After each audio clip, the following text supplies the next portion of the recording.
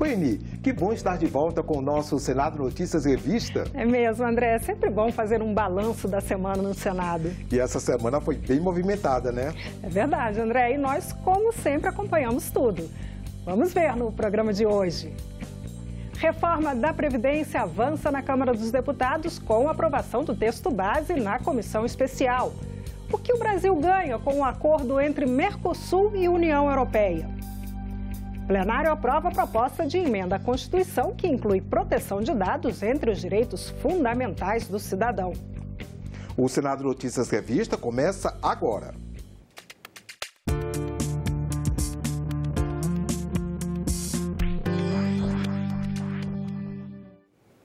A reforma da Previdência avançou nessa quinta-feira. A Comissão Especial da Câmara dos Deputados aprovou o texto base do relatório do deputado Samuel Moreira. O novo parecer da reforma prevê economia de um trilhão de reais em 10 anos. A proposta ainda vai passar pelo plenário da Câmara e depois vem para a análise do Senado. O parecer do deputado Samuel Moreira traz algumas modificações, mas preserva as diretrizes da proposta original do governo Jair Bolsonaro. A expectativa de economia com a reforma é de cerca de um trilhão de reais em 10 anos. Essa é uma oportunidade para todos nós sermos garantidores do pagamento das aposentadorias, garantidores de um futuro para os jovens que possam ter um sistema de aposentadoria sem a reforma, aqueles que têm mais dificuldade terão menos chances. Nós precisamos fazer a reforma. Essa reforma não é para o governo. Nós não somos do governo. Essa reforma não é para a oposição. Essa reforma não é para a esquerda nem para a direita. Essa é uma reforma pelo país.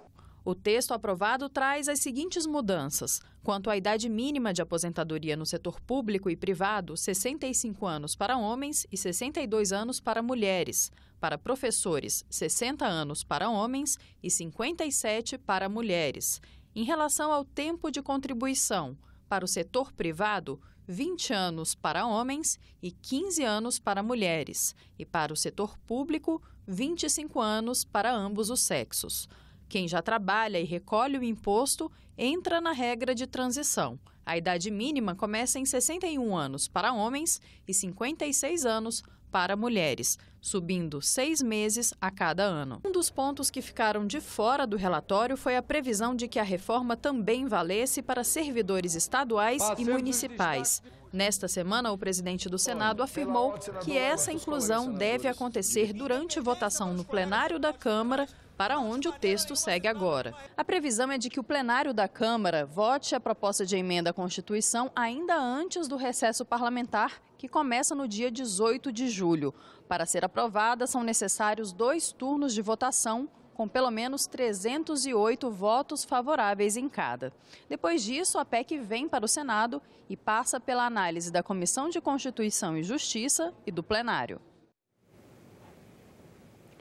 As vantagens são muitas. Aumento de até 7% no PIB brasileiro em 15 anos, menos barreiras comerciais, produtos de maior qualidade a preços mais baixos, cooperação em áreas estratégicas, mais investimentos diretos, destravamento de outras parcerias comerciais. E não para por aí, Eni. As vantagens do acordo entre Mercosul e União Europeia impressionam. Mas será que o Brasil sai mesmo ganhando com esse tratado? Confira na reportagem. A reação inicial foi de euforia. Afinal, hoje, apenas 24% das exportações brasileiras entram livres de tributos na União Europeia. Com o acordo, mais de 90% do que os europeus compram do Mercosul terá tarifa zero. Isso em até 10 anos. A expectativa é muito positiva. É, penso que foi um gol de placa que o nosso governo conseguiu e, assim sendo, nós estamos ansiosos para poder é, logo passar essa etapa e fazer com que isso possa chegar na ponta da população brasileira, gerando desenvolvimento, emprego e renda para nossa gente. Saímos ganhando no que se refere a acessibilidade de nossos produtos na agroindústria e na indústria, né, que eh, tinham restrições significativas dentro do mercado europeu. Além da chance de participar de um mercado gigantesco, receber produtos mais sofisticados, muito mais baratos, que beneficiará enormemente a população, receber insumos mais baratos também, que beneficiarão produtos fabricados no Brasil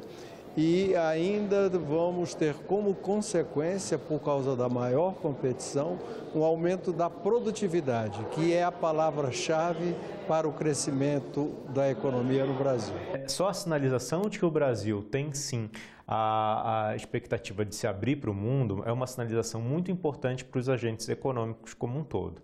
Né? Então, isso, isso pode sim atrair investimento, isso pode sim é, gerar mais riqueza no Brasil de imediato. Mas não demorou a surgirem os primeiros questionamentos. Os produtores são extremamente eficientes. Agora, essa carga tributária que tem sobre os combustíveis, por exemplo, ou sobre os alimentos, é o que torna o nosso produtor com pouca competitividade. Então, essa é uma preocupação que nós temos quando nós formos abrir esse mercado com Mercosul e a União Europeia. Uma das principais preocupações é o impacto dessa abertura na indústria nacional. É que, normalmente, a derrubada de tarifas deixa vulnerável setores da economia interna menos competitivos no nível global. Temos que eh, tomar muito cuidado porque uma abertura descontrolada, uma abertura sem pensar na indústria nacional, o tiro também pode sair pela culatra. É possível que o setor agrícola, o setor pecuário tenham benefícios maiores, não é? Mas eu acredito que todos aqueles setores da área industrial, do desenvolvimento de ciência e tecnologia, de medicamentos e outras áreas onde o Brasil hoje tem destaque também, tendem a ser não beneficiados por esse acordo, favorecendo muito mais a indústria dos países europeus. Como a nossa indústria ela vem por um processo de, de diminuição da sua atividade, é, nós precisamos avaliar o impacto disso no processo constante e permanente de desindustrialização do Brasil. Segundo a Confederação Nacional da Indústria, no curto prazo, as empresas brasileiras vão ser beneficiadas graças à redução das tarifas de exportação. Agora, no longo prazo, o futuro do setor depende de algumas reformas. A tributária é considerada crucial. Por isso é que nós estamos aprovando uma série de medidas como desburocratização, simplificação, reforma tributária, tudo isso está feito exatamente para garantir mais competitividade, para que o Brasil possa entrar bem mesmo é, na, com relação à, à, exportação. Sem o acordo, nós já estamos observando já né, o fechamento de indústrias, a saída de indústrias no campo, no, no, no, no campo né, automotivo e o acordo e os, os, reflexos do acordo ao longo da sua implementação, né, acredito que coloca uma pressão ainda maior sobre aqueles segmentos, sobre aqueles setores industriais com pouca produtividade, com pouca competitividade. A perspectiva nesse caso é ruim. E tem ainda a questão ambiental. O presidente francês cobra a aplicação dos compromissos do Brasil com o meio ambiente.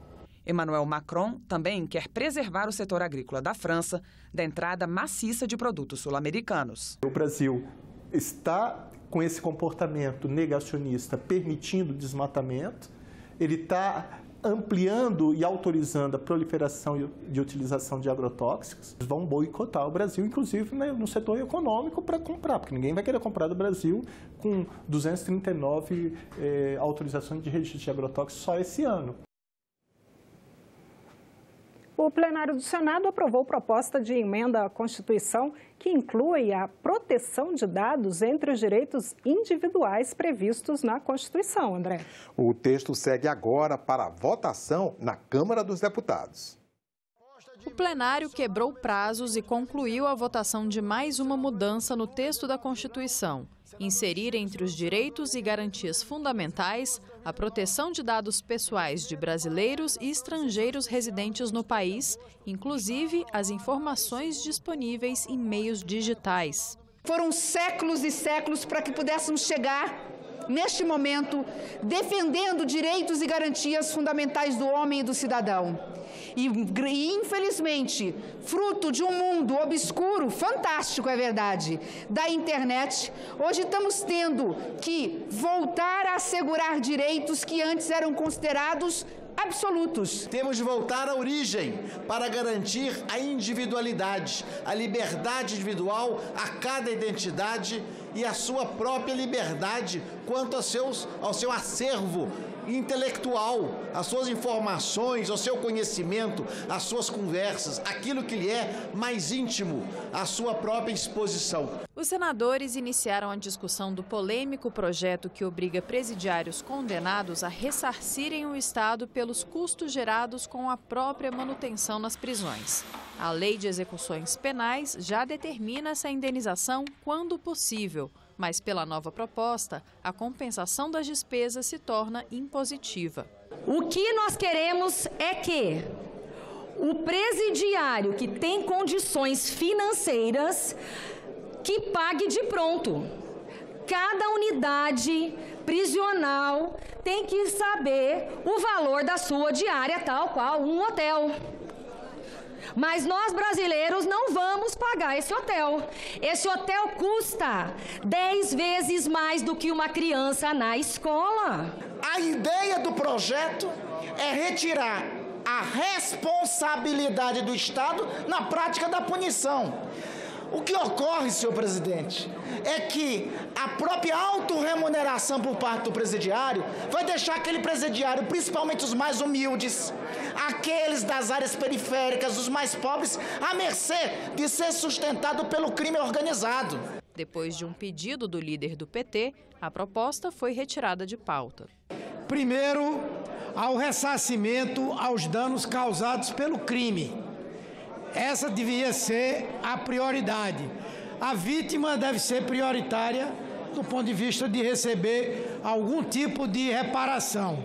Segundo, viria a garantia da assistência à família do preso. Não é o preso para ele lanchar, nem para ele fazer nada, é para a família, para que ela possa sobreviver. E finalmente é que nós entraríamos na obrigatoriedade de pagar, desde que o, o, o Estado garantisse a oferta do trabalho para essas pessoas. O plenário ainda aprovou a inclusão do transtorno do espectro autista no censo demográfico. E isso vai nos levar a outras conquistas. A gente precisa mapear essas pessoas. Eu tive a honra de ser a relatora do projeto de lei que instituiu política pública para quem tem transtorno do espectro autista. E tem uma questão que no Brasil a gente demora mais de sete anos, muitas vezes muito mais que isso para diagnosticar. Ao longo do mês de julho, o Eco Senado apresenta uma seleção das melhores reportagens do programa na primeira metade do ano. Na coluna Momento Eco de hoje, o jornalista César Mendes adianta alguns desses temas que você vai rever em julho. O programa Eco Senado é o espaço reservado para os assuntos ligados ao meio ambiente e ao desenvolvimento sustentável em nossa programação. Em março, a equipe do Ecosenado visitou sítios arqueológicos situados no Distrito Federal, vestígios da presença do homem pré-histórico nos arredores de Brasília. O interessante é que esses vestígios só foram descobertos graças às exigências do licenciamento ambiental. Hoje, o levantamento arqueológico é obrigatório.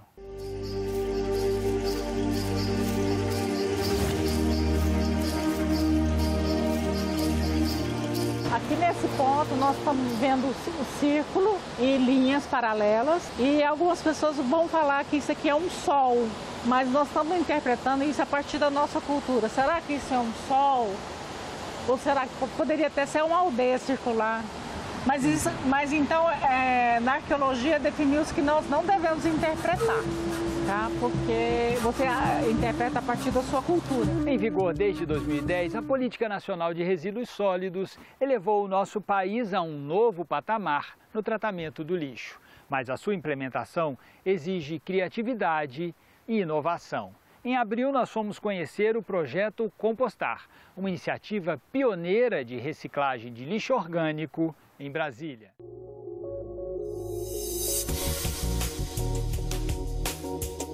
Qual tem sido esse resultado com o projeto Compostado no seu restaurante? Olha, o resultado de uma consciência mais tranquila, assim, de saber que o nosso resíduo está sendo destinado para um lugar correto. O programa Ecocenado vai ao ar no sábado e no domingo, às nove da manhã e às quatro da tarde. Já o Momento Eco volta em agosto, aqui no Senado Notícias Revista.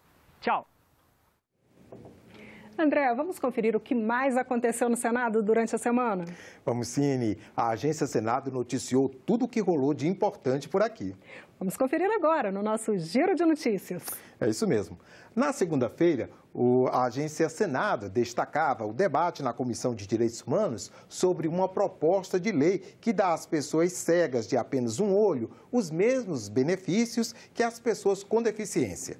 O projeto, que pretende alterar o Estatuto da Pessoa com Deficiência, está sendo relatado pelo senador Flávio Arnes. A audiência pública recebeu mais de 380 comentários de internautas por meio do portal E-Cidadania. Na terça-feira, um dos destaques da página da Agência Senado foi a aprovação do projeto na Comissão de Educação, Cultura e Esporte, que inclui a prevenção da violência contra a mulher nos currículos da educação básica. A proposta do senador Plínio Valério vai seguir para a Câmara dos Deputados se não houver recurso para análise em plenário.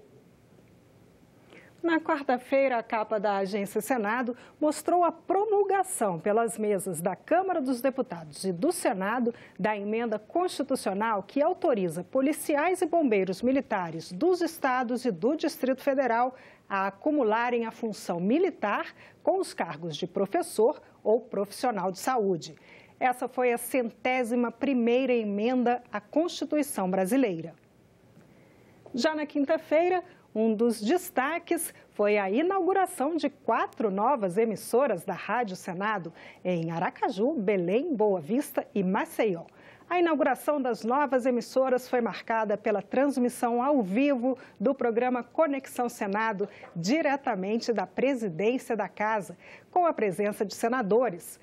Até então, a emissora era transmitida em caráter experimental nessas capitais. E ainda falando sobre a inauguração dessas quatro novas emissoras da Rádio Senado, Eni, elas se juntam a outras dez capitais com um público potencial de 20 milhões de ouvintes. Para os senadores, André, a ampliação da Rádio Senado vai levar aos brasileiros informação de qualidade sobre os trabalhos do Congresso Nacional. Rádio Senado, TV Senado são produtos de alta segurança e qualidade você permite ao eleitor lá no seu estado, lá no seu município, acompanhar diretamente a realidade do parlamento, ver aquilo que acontece efetivamente e fazer aquilo que a democracia exige, uma comparação de atitudes, uma análise qualificada daquilo que o parlamento faz e o Senado vai no caminho certo. Às vezes vi o mandato de senador muito distante da realidade do cidadão, muito longe. O eleitor, se você perguntasse a ele qual é o sentido que fazia do mandato do senador, talvez não soubesse responder. A gente precisa quebrar esse paradigma e aqui está a ferramenta, né, que vai nos ajudar a fazer com que o mandato do senador tenha sentido para o eleitor.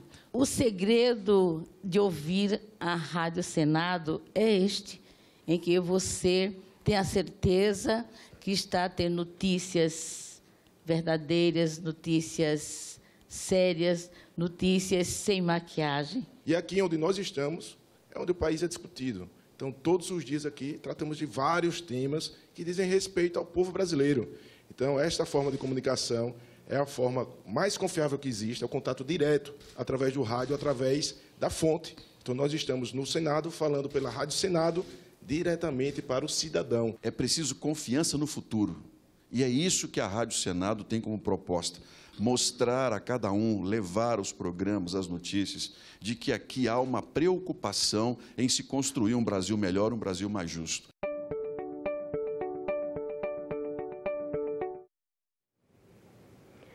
Proibir a exposição de cigarros nos locais de venda é um dos itens de um projeto contra o fumo, aprovado pelo Senado, que segue para votação na Câmara dos Deputados. A tramitação no Senado foi mesmo concluída, Eni, mas a discussão continua e é o tema da nossa coluna Laicá desta semana. O texto também prevê um formato padrão para as embalagens, impede a adição de aroma e sabor e transforma em infração de trânsito o ato de fumar dentro de automóvel com crianças e adolescentes. Quem apoia o projeto diz que ele é uma questão de saúde pública e evita mortes. Quem se opõe diz que ele vai cortar empregos na indústria e na área rural. Veja agora argumentos a favor e contra com os senadores José Serra e Luiz Carlos Reis. Estima-se que 250 mil famílias plantem fumo no Brasil, que é o segundo maior produtor do mundo de tabaco, atrás da China e à frente da Índia. Restringir mais a propaganda e a venda de cigarros vai gerar desemprego? Na verdade, o consumo em valores absolutos não vai cair. O que vai é desacelerar um pouco o crescimento, de forma que o efeito sobre emprego no sentido do desemprego, é praticamente desprezível. Vai prejudicar, seguramente, não apenas no campo. Hoje o Paraná, Santa Catarina e principalmente o Rio Grande do Sul são os maiores produtores de tabaco do Brasil. O Rio Grande do Sul tem mais de 100 mil famílias que plantam fumo. A cada ano, o Brasil gasta quase 57 bilhões de reais com o tabagismo e arrecada em impostos apenas 12,9 bilhões de reais. A indústria do fumo é um bom negócio para o país? O gasto do Ministério da Saúde em 2018 foi, 5, foi 117 bilhões. Será que só a metade do que gastou o Ministério da Saúde o ano passado, em todo o Brasil, em todas as doenças, passando recursos para as prefeituras, para os governos estaduais e para os hospitais filantrópicos hoje, a metade praticamente foi gasto só com tabaco, não tem mais nenhum outro problema. É, evidentemente é um mau negócio do ponto de vista econômico, como esse número demonstra o custo de tratar as pessoas por doenças que decorrem do fumo é muito maior do que o próprio valor da produção. O Brasil exporta mais de 80% da sua produção de tabaco. Coibir o consumo interno prejudica os produtores nacionais? Pelo número, você vê que o mais importante é a exportação. De cada cinco unidades produzidas, quatro vão para o exterior, não são afetadas por medidas internas a migração dessa atividade para uma outra atividade, ah, já disse que o, o, o Ministério, antigo Ministério do Desenvolvimento Agrário, hoje Ministério da Agricultura, teria substitutivo. Não existe substitutivo para essa cultura. Eu sou engenheiro agrônomo, eu sou produtor rural e nessas áreas íngremes, montanhosas que nós temos no Rio Grande do Sul, ou em Santa Catarina, ou no Paraná, não tem atividade que possa substituí-la. Se tivesse, os produtores já teriam trocado. O contrabando pode atingir mais da metade do fumo vendido no Brasil, segundo algumas estimativas.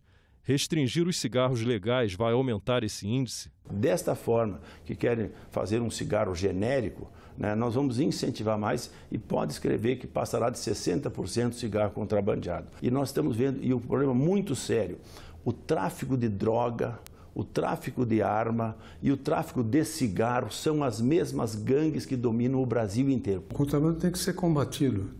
Você não pode deixar passar medidas que são ruins para as pessoas, com o argumento, assim não vem o contrabando. Tem que combater o contrabando. E o Brasil combate pouco contrabando. Proibir aditivos de sabor e aroma reduz a atratividade do fumo para menores de idade? Sem dúvida nenhuma. Tem pesquisa que mostra que esses aditivos, né, perfumarias, sabores especiais, etc., são um fator de atração para os adolescentes. E, na verdade, as pessoas começam a fumar, a grande maioria, na adolescência. A produção desse cigarro é insignificante, insignificante, perto do total que nós temos hoje. E a comissão parlamentar de inquérito responsável por investigar as causas da tragédia de Brumadinho aprovou o relatório do senador Carlos Viana. E os parlamentares, Eni, sugeriram que os responsáveis pela barragem devem ser indiciados por homicídio doloso.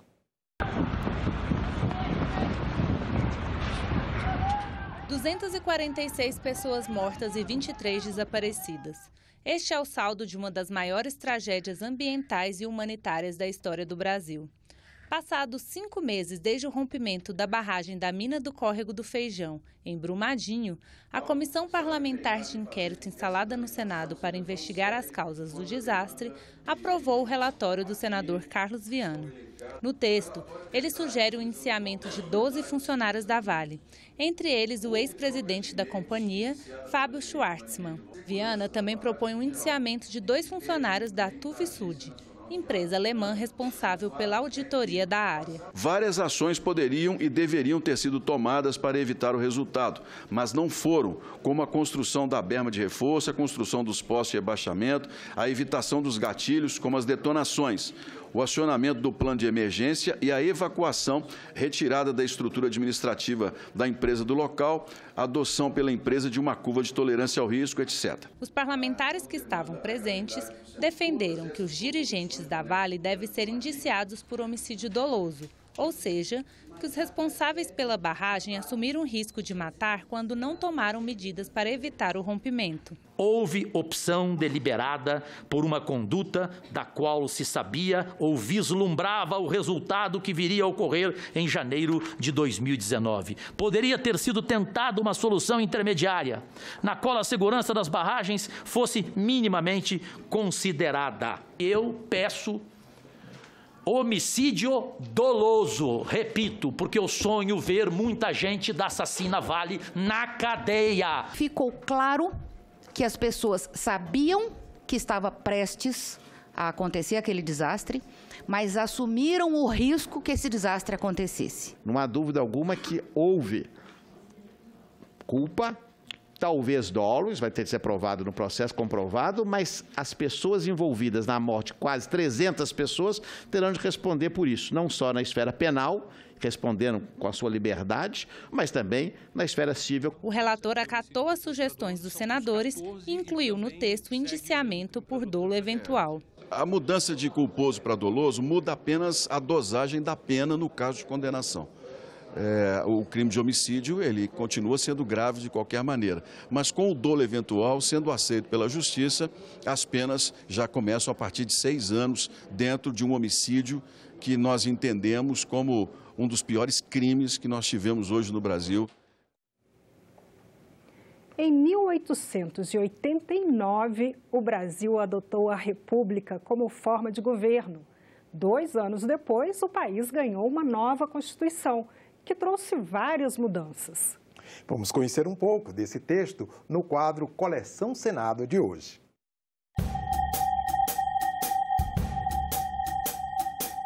Com a Constituição de 1891, o Brasil adotou o regime de República Federativa.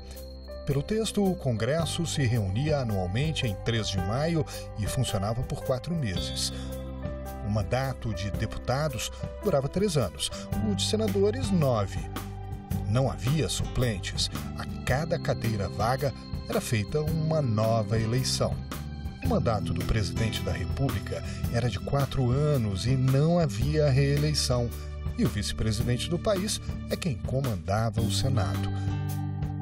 A República separou o Estado da Igreja, só reconhecia o casamento civil, o ensino em estabelecimentos públicos era leigo e as igrejas não tinham subvenção oficial.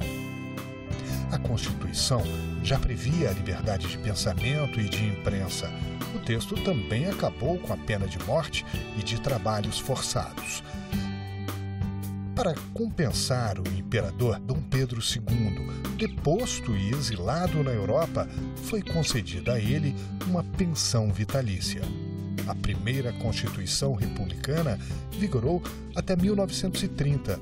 Os originais se encontram nos arquivos do Senado.